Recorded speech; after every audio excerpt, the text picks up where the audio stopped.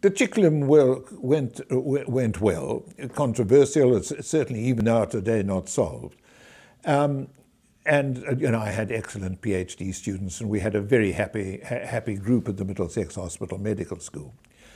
Um, and then in 1973, uh, Waddington put me up for the Royal Society. And that's a great compliment uh, to be put up um, as uh, to become a possible fellow of the Royal Society. And you're put up in the first instance for seven years. And each year, some committee looks at you and decides whether to accept you. And after six years, I hadn't been accepted. Um, and Waddington had died in the meantime, and other people were involved. And then I must say, to my enormous pleasure, I became elected a fellow in 1980. And in fact, it was Peter Medawar who phoned my secretary, Maureen Maloney, who I worked with very closely, to say that I had, in fact, been elected. I can't tell you how important it is to be elected a Fellow of the Royal Society. And when you become elected and you sit on the committees which try and decide who will be elected, you cannot get over the idea that you have been elected because it's so competitive. There are so many candidates and there are so few who actually uh, uh, become elected. There are only 40 or so uh, scientists a year that get elected, but it is an enormous honor and it makes a very, very big difference. And I was very, very grateful that I did, in fact, become elected. And I was on various committees of the Royal Society, and, and, and that, that, that, has, that has been really, uh, uh, really quite important to me. And of course, at this time, while I was doing all this science, I became involved in a different issue altogether, and that is the re actual relationship between science and the public. Because what struck me is how little science my non-scientific friends understood.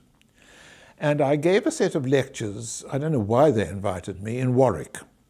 And on the basis of those lectures, I wrote a book called The Unnatural Nature of Science, which I'm still very fond of, that book, pointing out that any common sense view that anyone has about the nature of the world, it will be scientifically false. It's, is it not against all common sense that when you're going at 400 miles an hour in an aeroplane, there is no force acting on you? Force does not cause motion, it causes acceleration. That's as Newton pointed out. But it's so counterintuitive as to be absolutely bizarre. And when it comes to complicated things like cells or molecules or quantum mechanics, things become um, absolutely impossible. Science really is unnatural. And I think it's very important that people really realize that science doesn't fit easily with common sense.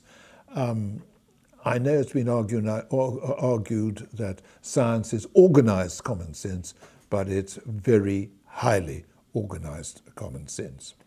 And I really, that was the second book. I'd also written a book, The Triumph of the Embryo. I was married to Jill Neville, a, a writer at the time, and she um, persuaded me to give it that title, and it was for the general public that I wrote this book about how embryos develop. Um, it was too complicated. They didn't, the, the general public didn't really, uh, didn't really understand it. And I also, those days, was doing interviews on the radio, and I interviewed many, many major scientists. Um, oh, Francis Crick, Sidney Brenner, all sorts, of, all, sorts of people. And we published these. Oxford University Press, I'm delighted to say, published this. I did these interviews with Alison Richards. We travelled around the world, and they were published in two volumes called uh, A Passion for Science and Passionate Minds. And I want to say, I think they're a, very nice, nice, nice set of interviews. And then, about 15 years ago, I got a very severe depression. Um, I still don't understand why I became depressed. I was happily married. I was a professor at the university. Um, I was 65 years old. Um, everything was fine. I was having a minor heart problem, but I went into a very severe depression and was even hospitalized at the Royal Free for three weeks because I was suicidal.